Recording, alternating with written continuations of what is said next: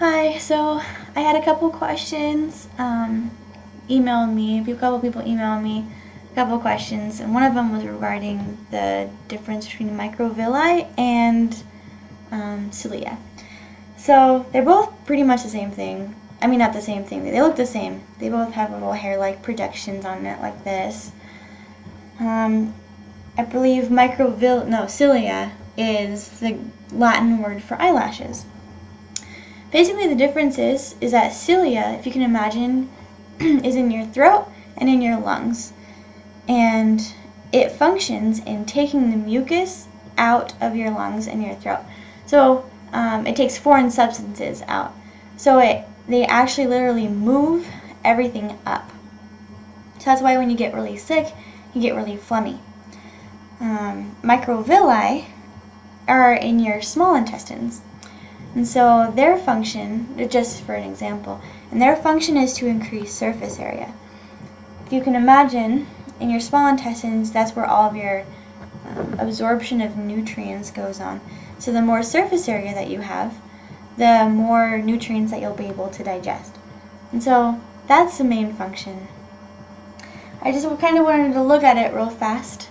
Um, let's find the picture. So here we see cilia on the pseudostratified columnar epithelium. Um, you just basically have to remember which one is on which epithelia. Um, so just remember that cilia is on pseudostratified columnar epithelium. It's all a fact of memorization, I think. I also wanted to talk about a couple other things from these slides. Um, here's some, some transitional epithelium.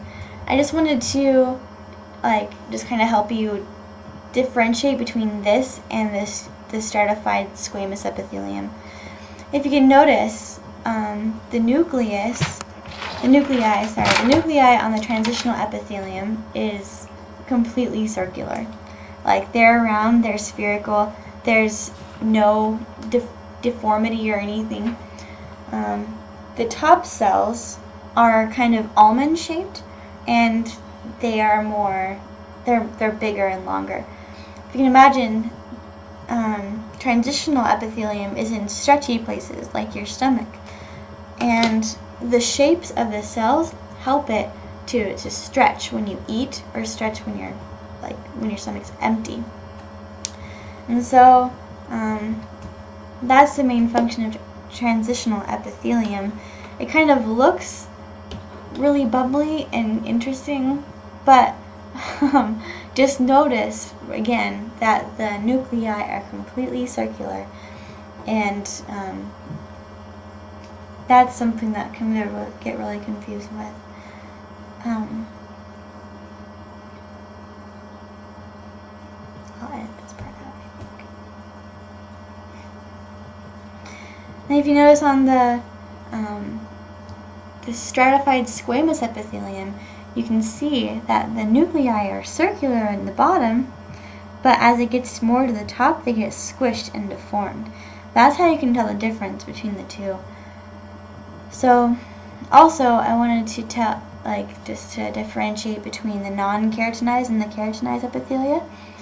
The non-keratinized epithelium are going to be in moist places like your esophagus and your mouth and places like that. Um, so you see that there's still cells on there. It doesn't doesn't have any dead cells or anything. It's just completely smooth. Um, let's see if we can find a slide. Oh, there's one. Okay, this is the keratinized uh, squamous epithelium, and you can see on the on the top that there is a layer of dead skin. And this is going to be like on your hands and your feet, on your arms, just anywhere you have skin. Um, that's your dead skin cells. And you can see that they don't have any nuclei anymore. Um, as they get to the top, their nuclei are lost. And, um, yeah, that's it. So that's all I really wanted to say. Um, oh wait, talking about something else?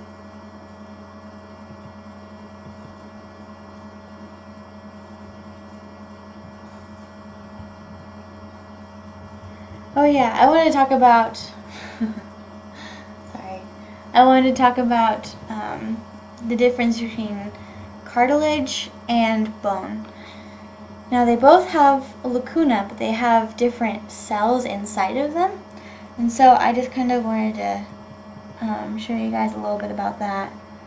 So let's see if I can find, I had a question about this in the email, so I just, sorry, I just want to check something. okay. So here we have some hyaline cartilage, and you can see that there is a chondrocyte and a lacuna. Now there's a chondrocyte um, it's just an active cell of a cartilage. You can always tell what kind of cell is, um, what kind of tissue it is by the cell. If it's a chondro something, then it's cartilage. If it's osteo, then it's bone, and etc. Um, now there's the osteoblast, and when it matures into an osteocyte, it automatically gets that lacuna. And then it turns into an osteoclast,